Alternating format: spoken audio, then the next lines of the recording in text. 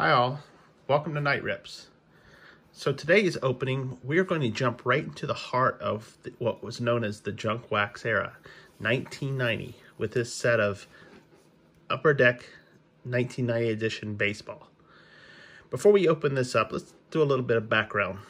So 1990 was the second year that Upper Deck produced baseball cards, produced any cards. They actually started in 1988. But this year was very pivotal. In 1990, they initially had come out with the first 700 cards in, you know, the standard boxes we're used to, a 36 pack, 15 card, uh, no gum in these. But then they came out with the second set, the upper, uh, the high number series. Two ways it came out. You could either got it this way. This is a factory sealed. Came with cards number 701 to 800. Or you got just like the low series where you got 36 packs, 15 cards each, but those packs contained cards from 1 to 800. You can get the entire set that way.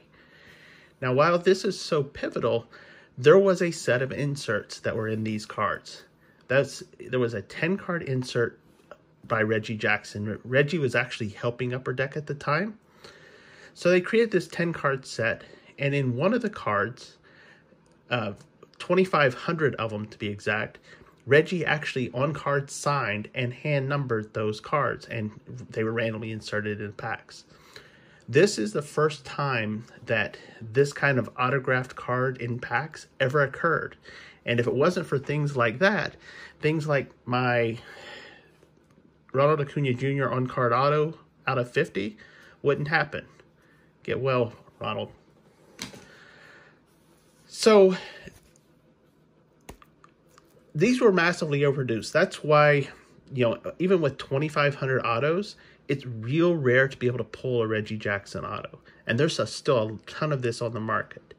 Now, the one thing that you'll find, you can go to eBay, Amazon, you name it, and you can find these packs for roughly 8 to 12 bucks. The wax packs, yes, there's a lot of them that still contain Reggie Jackson autographs but this pack here doesn't. So if you actually find, uh, you know, auctions that mention, you know, find the Reggie, understand it's not in these that are marked high number series. It's only in the wax packs. So, you know, be very cautious about that. There's also, these were cards that were notoriously filled with errors. There's actually some fun ones. A lot of them are in the lower numbers, you know, lower than 700 or lower than 701 there was some errors that were found in 701 up and when I open this, I've opened these packs before. I've never found errors in these, but I'll point out where some of those errors could be or what to look for, especially if you get the wax packs. And then finally, I mentioned the wax packs, the errors, the Reggie, whatnot. Make sure to go ahead and click that button, click on that subscribe because I do have a surprise at the end of this video. So you know, watch it to the end and you'll find out what that is.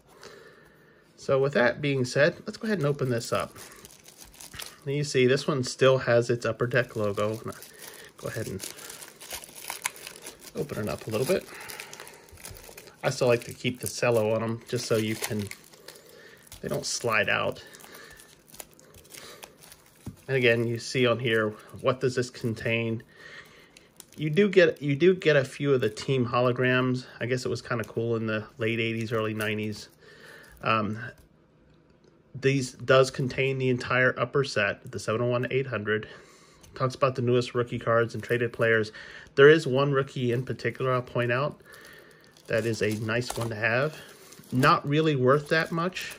Much like must, much of the uh, Junk Wax era, they so overproduce these cards that unless you have a PSA 10, I mean, even the in 1989 when Upper Deck, you know, their card number one was, uh, even though this is a Fleer one, the Ken Griffey Jr. That one has to be a PSA 10 in order to be worth really anything. So let's set this out. And of course, put the box over here. Let's take a look, see what see what holograms we got. Okay, well, we got the Cincinnati Reds guy. That's kind of cool. Actually, this this one actually looks pretty good too. They have the St. Louis Cardinals. Actually, and for cards that are 31 years old, actually, these are pretty good. Ah, at the time, it was the California Angels, not the Anaheim Angels, but that's kind of cool. See California the baseball there. And of course, and I've, I've got one of these before, the Detroit Tigers. Nice, nice how the tiger does kind of pop out a little bit. So, but those are fun. And you always get four of these and these. But let's go ahead and take a look at the cards. Now, one thing you'll notice, and boy, this is a, a setback, is you look, of course, you've got your upper deck checklist, 701 to 800. And with these cards, one thing that Upper Deck was trying to do, because if you looked at, you remember like the old, this is a Topps uh, 1996, these are extremely easy to counterfeit because it's just on cardstock, right? What Upper Deck did is they added this hologram feature here. I hope you can see it. Uh, that supposedly kept people from counterfeiting. And this was actually embedded in the card. It's not like a sticker on it. But, yeah, I don't know how many people really want to counterfeit something if, you know, you print bazillions of them. Uh, let's go ahead and take, take a look. And these are cards, and I, one thing I will say about the Upper Deck set, these cards compared to previous cards, I mean, some Donrusses are nice. You know, I've, I've I am a big Topps guy, so I, always like those. But these cards are beautiful. A lot of the things that you know, one of my favorite sets is Topps Stadium Club, and I love it because of the photography on it. And a lot of that came because companies like Upper Deck, you know, once Topps monopoly was broke, you know, there was no longer an exclusive rights, it got other people into the into the game and really push the envelope a bit. So, you know, upper deck, gorgeous card. The other thing about an upper deck card is that it had a photo photograph on the front and the back. And again, you know, you got the hologram anti-counterfeiting thing here. Uh, but yeah, you, you actually had full color cards, both front and back. Gorgeous. One thing I want to show, and this is something you, if you do get a chance to open up wax packs of some of the upper deck stuff, one of the things that actually makes their cards a little bit more valuable are the errors. And one of the errors that you will find is, if you notice under the MLB logo here, this copyright, a lot of times either the copyright is missing or it's only half there. Those are worth more. But when you talk about worth, again, PSA 10 and it uh it's still only worth maybe $20. Not you're not going to not going to really put your kids through college selling these cards unless you got tons of them. So you got Chris James, Johnny Myers, Sam Horn, uh, Juan Samuel, Brian Smith. Another thing I'm looking for, if you notice the right here in this little gray square is the position. Um, there, one of the errors that, that is common is that sometimes these are upside down or, you know, this one's pretty, pretty well centered. Sometimes they'll be far left justified, far right justified. Of course, you know, anytime you've got any errors like that, it's worth more if you want to call, you know, a few bucks worth something. Now this one's a little bit far left centered. Kevin Bass. Craig Lefert, uh, Craig. It's a little, uh, little to the left. Hubie Brooks. That's a good player. Oh, looky here. This is honestly something that, that is common in Upper Deck. It's the first time I've seen it in one of these packs where the pack was actually upside down, or the card's upside down. Get used to when you're opening Upper, upper Deck, the early ones, cards were all all kinds of you know all over the place so you get get used to flipping cards. And just because a card might be backwards like this, I know we get used to today. When you open a pack and you see it backwards, you're like, oh, that's to be a great hit. Nah, not necessarily when you're talking upper deck. Uh, Jeff Huson, it's left justified. Matt Young's pretty good. Cecil Fielder, another great player. Dave Hollins, Paul Sorrento, Mark Langston, Billy Jo Robidoux, Mike Marshall. Oh, there we go again. This makes me wonder. Nope, still looks fine. Candy Maldonado, Marty Clary. Oh, see it's to the left a bit. Billy Hatcher, this one's pretty far. This one actually is really, uh, make sure you can see it. This one's really far to the left. Let's take a look at the, ah, Keith Hernandez. This is actually when he went to the Indians. This is after he is stayed with the Mets. Okay. Glenallen Hill, Rafael Valdez, Gary Carter, Giant is again after the Mets. And you can see catcher way to the left. Quality control was just not a thing back then. Not when you were producing this many cards. Uh, Mel Rojas, Fred Lynn. Yep, here we go again. Gary Pettis. Pascual Perez. I remember Pascual, Atlanta Brave. Tony Phillips. Mike Flowers. Dave Parker. This actually was one of my heroes growing up. I remember watching him as a pirate. See, they only put a few years. This is post-pirate days. He probably doesn't want to remember his pirate days from the mid-80s, the little trouble that the pirates got in. Wilson Alvarez, position way off center, but he is, it is there. Mike Pena, Matt Combs, Wayne Edwards. Ooh, this one's centering is off too. You can see, it's almost cut off at the bottom. Gary DiSarcina. Boy, I'm terrible at names, so if, if any of y'all are watching this, I am sorry. Jim Presley. Stan Belinda. Nick. Having the two bats, it's like playing MLB The Show when you usually see them play with two bats. Alex Sanchez, Sandy Alomar Jr., uh, Pod, former Padre. Yep. Ray Lankford, Joe Carter, Howard Farmer. I remember the old Expo days. Now the Nationals, Eric Gunderson, Alex Cole, Mike Benjamin, ah, Dennis Boyd, oil can. The funny thing is, they did. I mean, he they actually didn't put, and I honestly could remember oil can's first name before. I had to go back and and Google it. But yeah, they were real good at making sure that people's nicknames were on here. Tony Pena, former pirate. Yep. Dann Howitt. Delino DeShields. Dave Winfield, former Yankee. Yeah, actually, this was right after he left the Yankees. I used to watch him. Matt Nokes, Mark Gardner, Mike Fetters, Hector Villanueva. And we spin again.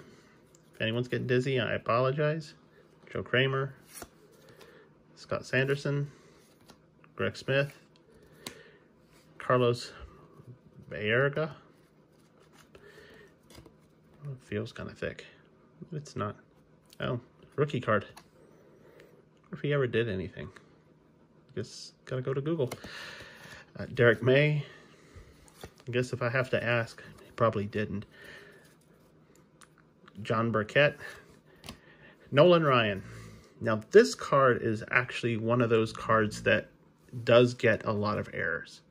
And I'm not talking about the fact that it's not the pitcher uh, it's not centered, the P's not centered. So one of the things that happen on a lot of the cards is that you'll hear stripe, no stripe. And if you see, you know, he's got this 300, he had his 300 win on July 31st in 1990. The card that's actually more valuable is when this stripe is gone. So there was batches that was printed before they actually put the stripe. But what's real funny about this card is it actually in the back doesn't even talk about his 300th win. It talks about his sixth no hitter. So you'd think it, they would they would have mentioned it, but I guess all they did because it came so late is they dropped the the logo the stripe on it and called it a day.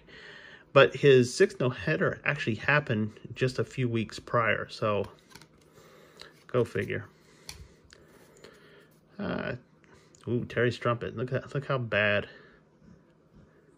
Just way way off. Rick Parker. It's like every one of these is way off. Brian Bohanon. And spin again. Mitch Webster. Jeff Reardon, Lenny Webster, Scott Hammond, Todd Hundley, Scott Radinsky, Bill Sampson, Jim Leyritz, Shawn Boskie, Greg Grebeck.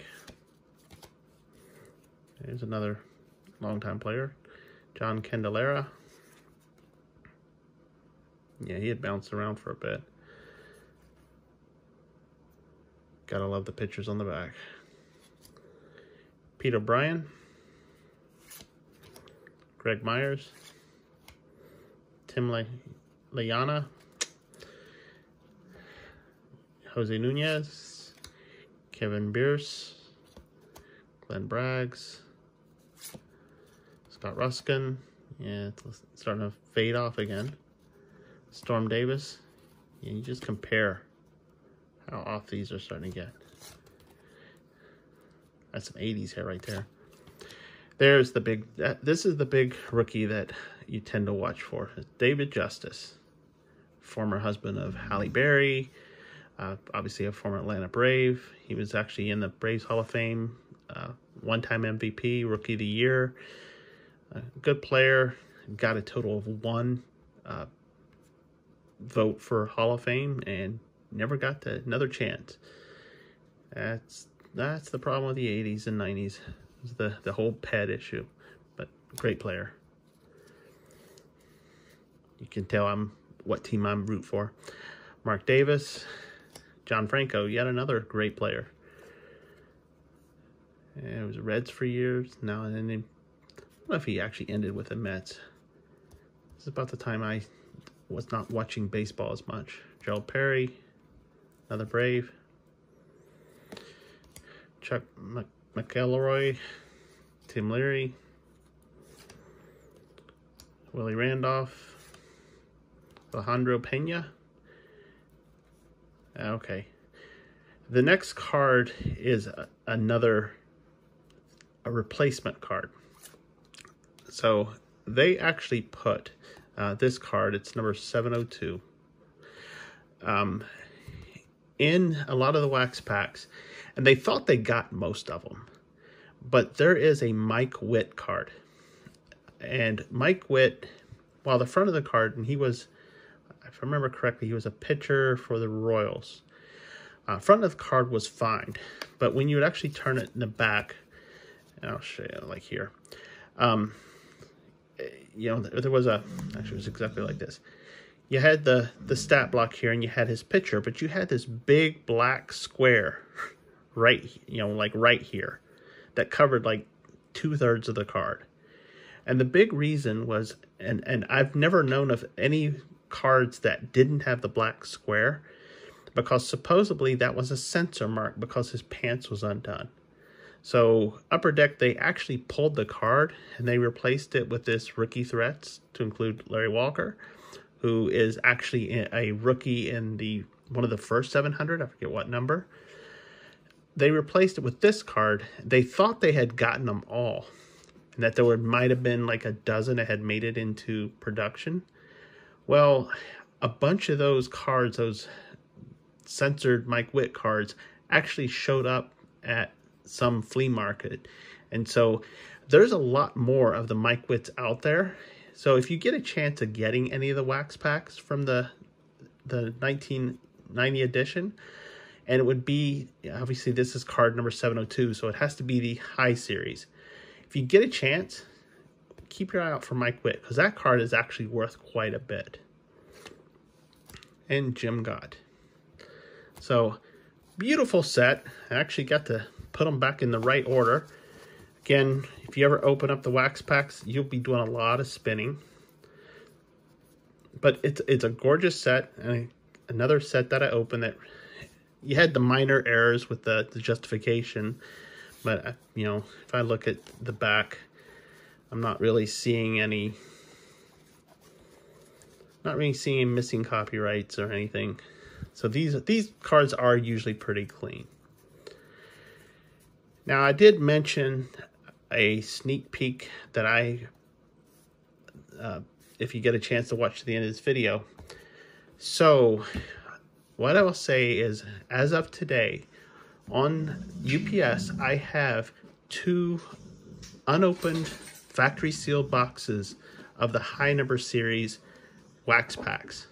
So make sure to go ahead, click the bell, click the subscribe, watch the, for the channel because I will be opening both of those boxes on a couple videos in the future. And we'll go ahead and see if we can find a Reggie Jackson. I'd love to find it. I'd love to just even be able to find the, the entire 10 card inserts because again,